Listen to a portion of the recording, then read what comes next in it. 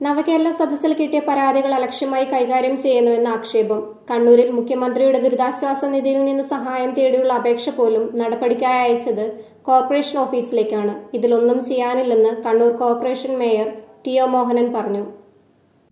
മുഖ്യമന്ത്രിയും മന്ത്രിമാരും നടത്തുന്ന നവകേരള സദസ്സിൽ കണ്ണൂർ ജില്ലയിൽ കിട്ടിയത് ഇരുപത്തി എട്ടായിരത്തി എണ്ണൂറ്റിയൊന്ന് പരാതികൾ. ഇതിൽ തീർപ്പാക്കിയത് വെറും നൂറ്റി മുപ്പത്തിമൂന്ന് എണ്ണം. അതിനിടയിലാണ് കോർപ്പറേഷന്റെ പരിധിയിൽ വരാത്ത കേസുകൾ കോർപ്പറേഷന്റെ മുന്നിലെത്തിയത്. പരാതികളിൽ ഒന്നും ചെയ്യാനില്ലാത്തതിനാൽ തിരിച്ചയക്കുകയാണ് കോർപ്പറേഷൻ. തരംതിരിച്ച് നൽകിയതിൽ വരുന്ന പിഴവെന്നാണ് ജില്ലാ ഭരണകൂടത്തിന്റെ വിശദീകരണം. നവകേരള സദസ്സിൽ കണ്ണൂർ അഴീക്കോട് മണ്ഡലങ്ങളിലായി കിട്ടിയത് നാലായിരത്തി എണ്ണൂറ്റി അമ്പത്തിയേഴ് പരാതികൾ. അത് തരംതിരിച്ച് ഓരോ വകുപ്പിലേക്കും അയച്ചു. വകുപ്പുകൾ അതത് ഓഫീസുകളിലേക്കും. അങ്ങനെ കണ്ണൂർ കോർപ്പറേഷനിലെത്തിയത് അഞ്ഞൂറ്റി പതിനാല് പരാതികൾ. അതിലാണ് ആക്ഷേപം. കോർപ്പറേഷന് പരിഹാരം കാണാനാവാത്ത നഗരസഭയുമായി ഒരു ബന്ധവുമില്ലാത്ത പരാതികളും കൂട്ടത്തിലെത്തി. നഗരസഭ പരിധിക്ക് പുറത്തുള്ള ആളുടെ പരാതിയും കോർപ്പറേഷൻ ഓഫീസിലേക്ക് അയച്ചിട്ടുണ്ട്. ഇത് നടപ്പിലാക്കാൻ സാധിക്കില്ലെന്ന് Kannur corporation mayor T O Mohanan പറഞ്ഞു. എല്ലാ പരാതിയിലും പരിഹാരം കണ്ട് പരാതിക്കാരനെ അറിയിച്ച് റിപ്പോർട്ട് നൽകാനാണ് നിർദ്ദേശം. മുഖ്യമന്ത്രിയുടെ ദുരിതാശ്വാസ നിധിയിൽ നിന്ന് പണം കൊടുക്കാനടക്കമുള്ള നടപടി നിർദ്ദേശത്തിൽ കോർപ്പറേഷൻ കൈമലർത്തുന്നു. അതേസമയം പരാതികൾ തരംതിരിച്ച് നൽകിയതിൽ വന്ന മാനുഷിക പിഴവെന്നാണ് ജില്ലാ ഭരണകൂടത്തിന്റെ വിശദീകരണം. വേഗത്തിൽ തീർപ്പാക്കേണ്ടതിനാൽ അതിവേഗത്തിലാണ് പരാതികൾ ബന്ധപ്പെട്ട വകുപ്പുകളിലേക്ക് അയച്ചത്. വിലാസം തെറ്റി വന്നാൽ തിരിച്ചയച്ചാൽ മതിയെന്നും ജില്ലാ ഭരണകൂടം വ്യക്തമാക്കി.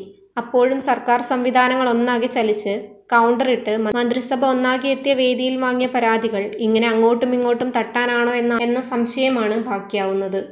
മുഖ്യമന്ത്രിയുടെ നവകേരള സദസ്സുമായി ബന്ധപ്പെട്ട് കണ്ണൂർ ജില്ലയിൽ ഒരുപാട് പരാതികൾ കിട്ടി എന്നാണ് മാധ്യമങ്ങളിൽ ഉണ്ടായത് അപ്പം അതിനുശേഷം ആ പരാതികളൊക്കെ സോർട്ട് ചെയ്തിട്ട് പല കേന്ദ്രങ്ങളിലേക്കും അയച്ചു കൊടുക്കുന്നതായിട്ട് പരിഹരിക്കപ്പെടേണ്ട പ്രശ്നങ്ങൾ അങ്ങനെ തന്നെയാണ് പരിഹരിക്കേണ്ടത്. പക്ഷേ ഇവിടെ ഇപ്പം നോക്കുമ്പോൾ ഇന്നലെ അഞ്ഞൂറ്റി പതിനൊന്ന് ഞാൻ നോക്കുമ്പോൾ അഞ്ഞൂറ്റി എഴുപത്തൊന്ന് പരാതികൾ ഇവിടെ അയച്ചു കിട്ടിയിട്ടുണ്ട്. ആ പരാതികളൊന്ന് നോക്കിയപ്പോൾ അതിനകത്ത് എട്ടോളം പരാതികൾ അതിൽ കൂടുതൽ ഉണ്ടെന്നാണ് പറഞ്ഞത്. ഇപ്പം കയ്യിൽ വന്നത് എട്ടെണ്ണമാണ് മുഖ്യമന്ത്രിയുടെ ദുരിതാശ്വാസ നിധിയിൽ നിന്നും സാമ്പത്തിക ആനുകൂല്യം ലഭിക്കാൻ വേണ്ടി തന്ന പരാതികളാണ്. ലൈഫ് ഭവന പദ്ധതിയിൽ ഉൾപ്പെടുത്തണം എന്ന് പറഞ്ഞുകൊണ്ട് കിട്ടിയിരിക്കുന്ന നൂറ്റി നാൽപ്പത്തി മൂന്ന് അപേക്ഷകൾ.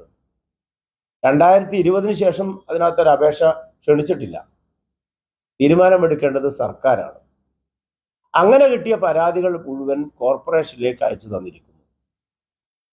അറക്കൽ മ്യൂസിയം നമുക്കറിയാം ആർക്കിയോളജിക്കൽ ഡിപ്പാർട്ട്മെന്റ് കൂടെ.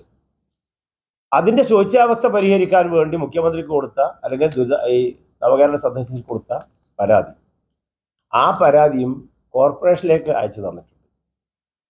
എല്ലാ മാസവും കൃത്യമായി പെൻഷൻ തരണം എന്ന് പറഞ്ഞു കൊണ്ടുകൊടുത്ത പരാതി.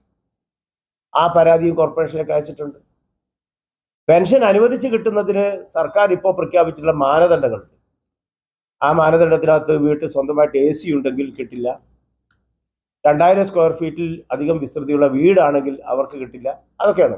ആ മാനദണ്ഡത്തിൽ ഇളവ് തന്ന് എനിക്ക് പെൻഷൻ നിഷേധിച്ചത് ശരിയല്ല. അത് ഇളവ് തന്ന് എനിക്ക് പെൻഷൻ കിട്ടാൻ ആവശ്യമായ നടപടി സ്വീകരിക്കണം എന്ന് പറഞ്ഞ് ബഹുമാനപ്പെട്ട മുഖ്യമന്ത്രിക്ക് എന്ന് എഴുതിയിട്ടുള്ള പരാതി. ആ പരാതിയും കോർപ്പറേഷനിലേക്കാണ് അയച്ചു തന്നിരിക്കുന്നത്. അപ്പൊ ഈ നവകേരള സദസ് കൊണ്ട് എന്താണ് ലക്ഷ്യമിടുന്നത്? അവിടെ കിട്ടിയ പരാതികൾ ഇങ്ങനെ ഇരുപത്തിനാലായിരം പരാതി കിട്ടിയെന്നൊക്കെ പറയുന്നു. ദുരിതാശ്വാസ നിധിക്ക് വേണ്ടി അപേക്ഷിച്ച ഒരാളിനെ സംബന്ധിച്ചിടത്തോളം അവരുടെ ദുരിതത്തിനനുസരിച്ച് ഒരു പത്തോ ഇരുപത്തയ്യായിരം രൂപ അവർക്ക് സാമ്പത്തിക സഹായം കൊടുത്താൽ അതിനനുസരിച്ച തുക അനുവദിച്ചു കൊടുത്താൽ ആ പരാതി അവിടെ പരിഹരിക്കപ്പെടും. ദുരിതാശ്വാസ നിധി എല്ലാ കാലത്തും കൊടുത്തതാണ്.